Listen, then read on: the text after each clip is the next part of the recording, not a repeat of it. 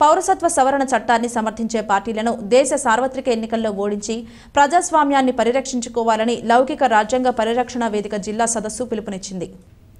Kakinada UTF teachers హోంలో లౌకిక రాజ్యాంగ పరిరక్షణ వేదిక ఆధ్వర్యంలో సీఏఏ దాని పర్యవసానాలు అనే అంశంపై వేదిక convener senior citizen Aithabathula Rameswararao అధ్యక్షతన సదస్సు జరిగింది. ఐఎఫ్టియు రాష్ట్ర నాయకులు పి ప్రసాద్ ఆవాజ్ రాష్ట్ర కార్యదర్శి చిస్టి ముఖ్య అతిథులుగా పాల్గొన్నారు. పౌరసత్వ సవరణ చట్టం ద్వారా దేశ ప్రజలందరినీ దోషులుగా నిలిపి మత ప్రాతిపదికన నిర్దోషిత్వాన్ని తేల్చుకోవాలని చేస్తున్న కుట్రల వెనుక ఉగ్రవాద మతజాడ్యం ఉందని ప్రసాద్ పేర్కొన్నారు. ప్రపంచం ఆరాధించే రాముడిని రాజకీయ రాముడిగా ఎన్నికల చిత్రాలు సృష్టించి సమున్నతంగా ఉన్న మతంలో భిన్న వర్గాలు సృష్టించడం రాజకీయ ప్రకోపంలో భాగంగా ఉందని పౌరసత్వ సవరణ చట్టం వలన రాజ్యాంగంలో లౌకికత్వానికి తావులేదనే ధోరణి తీసుకువస్తున్నారని చిస్టి పేర్కొన్నారు.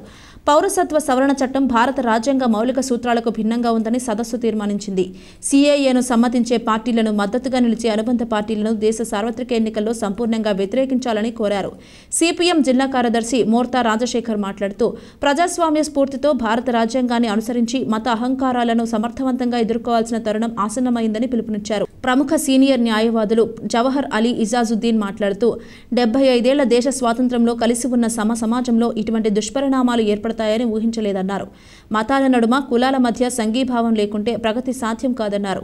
క్రైస్తవ పరిషత్ రాష్ట్ర ఉపాధ్యక్షుడు కాశీ బాలయ్య వ్యవసాయ కార్మిక సంఘం జిల్లా కార్యదర్శి కెఎస్ శ్రీనివాస్ ఆమ్ ఆద్మీ జిల్లా కన్వీనర్ నరాల శివ న్యూ డెమోక్రసీ నాయకులు జల్లూరి వెంకటేశ్వర్లు సబ్బతి ఫణీశ్వరరావు చింతపల్లి అజయ్ కుమార్ టి రాజా గంగా సూరిబాబు నజీరుద్దీన్ పాల్గొన్నారు.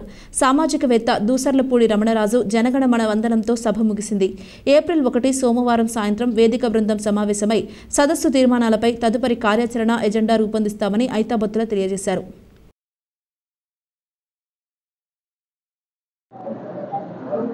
ముందుగా మిత్రులతో మీడియా మిత్రులకి నా హృదయపూర్వక జైభీములు వందనాలు మిత్రులారా ఈ రోజున లౌకిక రాజ్యాంగ పరిరక్షణ వేదిక తరపుని ఈ ప్రజల్లోకి ఈ ఏదైతే ఈ బీజేపీ చేస్తున్న కుట్రలన్నీ కూడా ప్రతి ఇంటింటికి తీసుకెళ్ళాలని సుఖ సుఖాను సుసంకల్పంతో మేమందరం ఈ కార్యక్రమం చేస్తున్నాం.